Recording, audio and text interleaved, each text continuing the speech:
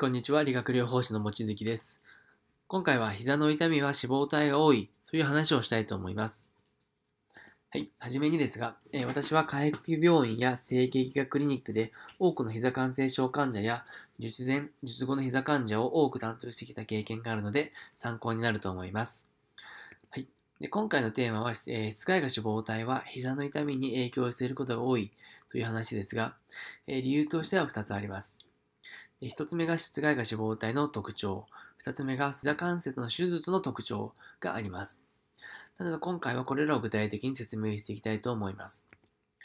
はい。えー、その前に、えー、室外化脂肪体以外にも影響している組織が多いんじゃないかと思う人もいるかもしれませんが、もちろんその通りです。しかし、実際に私が臨床で経験している感じだけではなくて、え、理学療法士の有名な先生方たちの多くが、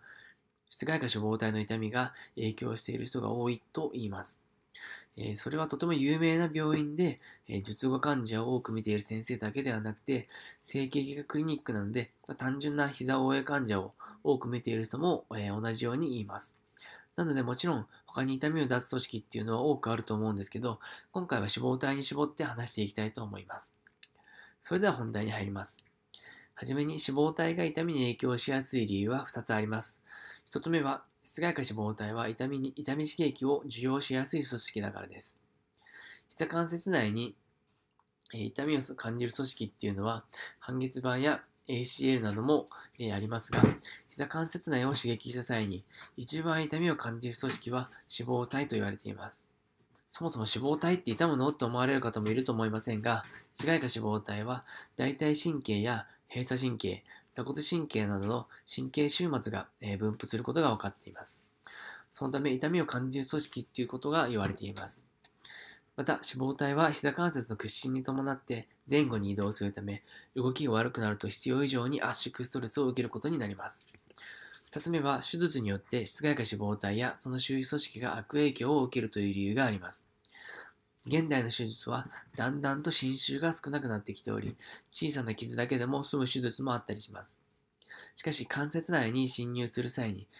えー、室外化脂肪体を貫通することが多く、必ずと言っていいほど、えー、脂肪体には術後の反根化や周辺組織との癒着っていうのが起こってしまいます。その影響で室外化脂肪体の動きが悪くなり、